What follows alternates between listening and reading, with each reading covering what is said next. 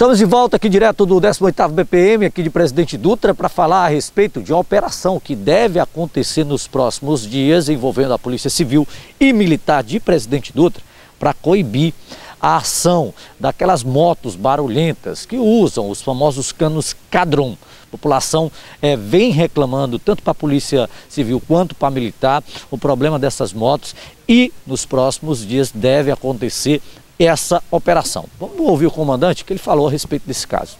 É uma preocupação nossa que, na verdade, é, incomoda boa parte da, da população. A gente, a gente entende essa questão da euforia da, da, da questão das eleições, mas é, aproveitar esse espaço até, até para orientar o cidadão que está cometendo esse tipo de ilícito.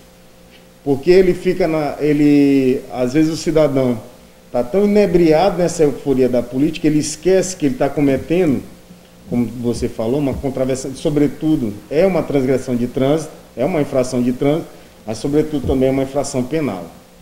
Esse cidadão, ele vai ser conduzido para a delegacia, ah, ele vai ser conduzido para a delegacia já em contato com o doutor César Ferro, já estabeleceu alguns procedimentos a ser feito com o cidadão pego nessa circunstância, esse cidadão ele pensa que ele está fazendo único exclusivamente uma infração de trânsito, mas ele está cometendo uma infração penal, ele deixa de ser primário por conta dessa situação, ele deixa de participar de alguns concursos públicos por conta dessa situação e às vezes o cidadão ainda comete isso daí. A população de bem não aguenta mais esse tipo de, de, de motos com esse tipo de descarga e a gente aqui de Presidente Dutra vai tirar. Já chegamos até a prender em uma outra cidade uma motosserra fazendo esse tipo de, de, de zoada em função dessa questão política. O cidadão foi, foi preso e apresentado na delegacia.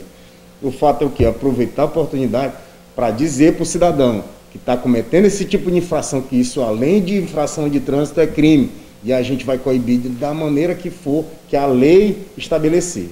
O comandante também falou de uma ação social que a polícia realizou aí em prol de uma criança aqui do município de Presidente Dutra que tinha um sonho de conhecer é, os policiais. A gente confere a entrevista que foi repassada por ele. No dia 16, na sexta-feira, na cidade de Gonçalves Dias, a gente foi surpreendido com uma, com uma ação social que a polícia, a guarnição de, de Gonçalves Dias desencadeou por lá. O na circunstância, o aniversário do, do do, do José Bernardo, que nos traz muita felicidade passar uma ocorrência é, nesses moldes para toda a sociedade.